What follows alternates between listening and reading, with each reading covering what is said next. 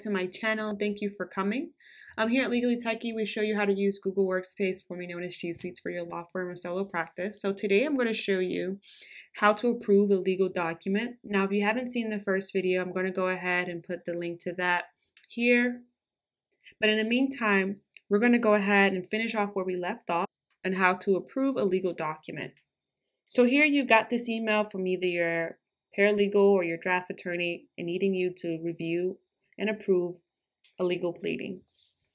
So now that you have it open, you have the due date and who exactly is sending that request, you want to go ahead and open that document. Now that you have it open, you have the option to approve, reject, and also view the details.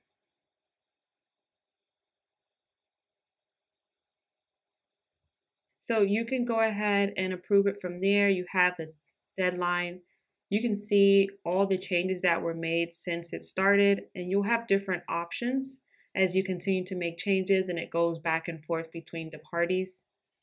You also see who exactly are the approvers for this. You can leave comments as well, and so forth.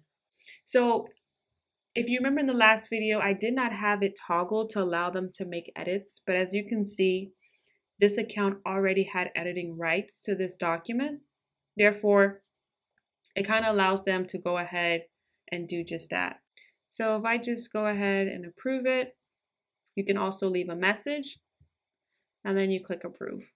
As you can see, we're still missing one extra party to approve this document, so I'm going to go ahead and do that. And it lets you know partially approved, waiting for one more approver to approve. So you're able to know at every stage.